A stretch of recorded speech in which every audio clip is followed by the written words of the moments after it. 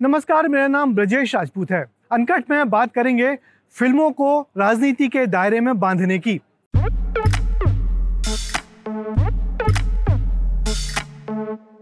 मध्य प्रदेश में ये माहौल शुरू हुआ है दीपिका पादुकोण के जेएनयू के प्रोटेस्ट में भाग लेने के बाद से। दीपिका पादुकोण जेएनयू के प्रोटेस्ट में भाग लेने क्या गई? सारे लोग उनके खिलाफ हो गए, लगातार उनके खिलाफ एक कैंपेन चलाया गया कुछ लोगों के द्वारा। मगर दीपिका को अकेला घेरते देख उनके समर्थन में आई कांग्रेस।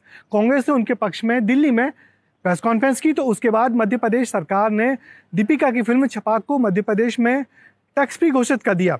बात यहीं तक नहीं थमी। कांग्रेस के छात्र संगठन एनएसयूआई ने कई जगहों पर छपाक फ़िल्म को फ्री में दिखाने की कवायद की। और जब ये सब हो रहा था तो उसके बाद बीजेपी भी जागी और बीजेपी ने तानाजी फ़िल्म को प्रमोट करना शुरू कर दिया। भोपाल में तो गजब नज़ारा हो गया, जब एक परिसर के दो थिएटर में एक तरफ़ तानाजी चल रही थी तो दूसरी तरफ़ छपाक चल रही थी।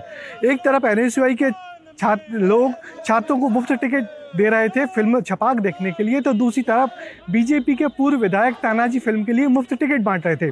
दोनों के बीच जम के नारेबाजी हुई, माहौल बना, पुलिस को बुलाना पड़ा, मगर इस सब का शिकार हो गए वो वो लोग जो फ़िल्म देखने आए थे। किसी राजनीति के खेमेबाजी में बटे हुए नहीं थे।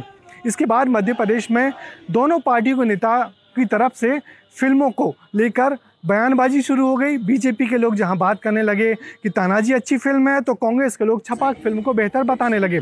बात यहीं तक नहीं रुकी। आ, हमारे मुख्यमंत्री कमलनाथ ने लगातार ट्वीट करके छपाक की तारीफ़ की। तो उसके बाद मध्य प्रदेश के नेता प्रतिपक्ष भी पीछे नहीं रहे। उन्होंने जो गोपाल भार्गव जिनका नाम है, उन्होंने दीपिका पादुकोण पर लगातार कुछ ऐसे कमेंट किए जिनको उल्लेख करना मुश्किल है। बात फिर यहीं तक ख़त्म नहीं हुई। हमारे मध्य प्रदेश विधानसभा के नेता नेता प्रतिपक्ष गोपाल भार्गव ने अपने घर, अपने शहर के थिएटर हॉल में पूरे दिन एक चार शो तानाजी के बच्चों को मुफ़्त में फ़िल्म दिखाई।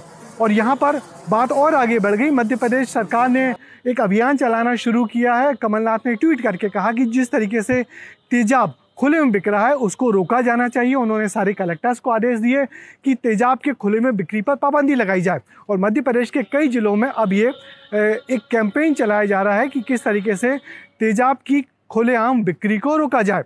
तो कुल मिलाकर ऐसा लग रहा है कि मध्य प्रदेश में एक माहौल बन गया है। दोनों फ़िल्मों को अलग अलग दायरे में बांट दिया गया है और बीजेपी, कांग्रेस के लोग इन दोनों फ़िल्मों को अपने अपने तरीके से, अपने पक्ष की मान के प्रमोट कर रहे हैं। मगर मज़ा तो तब आया जब मध्य प्रदेश के दौरे पर आए सिंधिया ने। ज्योतिरादित्य सिंधिया, जो कांग्रेस के बड़े नेता हैं, उन्होंने फ़िल्म तानाजी की तारीफ़ की और कहा कि इतिहास के ऐसे अनसंग हीरो जिनके बारे में लोग जानते नहीं हैं, यदि उनके बारे में ऐसी फ़िल्में बनती हैं तो उसको प्रमोट किया जाना चाहिए, उसको टैक्स फ्री किया जाना चाहिए। सिंधिया के इस बयान के बाद से अब कांग्रेसी नेता मुँह छिपाते घूम रहे हैं, जो छपाक फ़िल्म को प्रमोट कर रहे थे और तानाजी फ़िल्म को बुरा बता रहे थे। मगर हमारा तो ये मानना है कि नेता लोग भले ही राजनीति में जाएँ, चुनाव लड़ें विधायक बने, सांसद बने, मंत्री बने मगर फ़िल्मों को राजनीति के दायरे में इस तरीके से ना बांधें, क्योंकि फ़िल्में तो सबकी होती हैं और सब लोगों को अपनी पसंद की फ़िल्में देखना चाहिए। फ़िल्मों को विचारधारा में बांटना या किसी दायरे में रखना बेहद गलत है, क्योंकि फ़िल्में सिर्फ़ मनोरंजन के लिए होती हैं और फ़िल्मों को देखते वक्त किसी विचारधारा से प्रभावित नहीं होना चाहिए। ये है एबीपी न्यूज़ आपको रखे आगे।